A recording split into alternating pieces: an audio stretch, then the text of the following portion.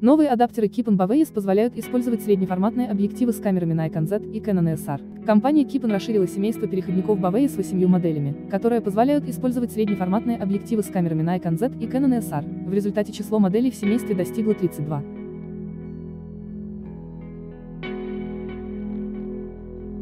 Список новинок включает модели Baveis Pentax 645 Nikon Z0,7X, Baveis Pentax 67 Nikon Z0,7X, Baveis Mamiya 645 Nikon Z0,7X, Baveis Hasselblad V Nikon Z0,7X, Baveis Hasselblad V ESR 0,7X, Baveis Mamiya 645 ESR 0,7X, Baveis Pentax 67 ESR 0,7X и Baveis Pentax 645 ESR 0,7X.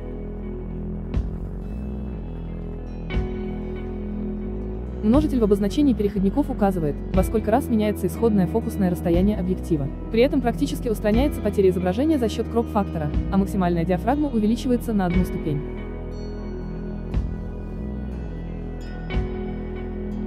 Оптическая схема переходников включает 5 элементов с многослойным просветлением.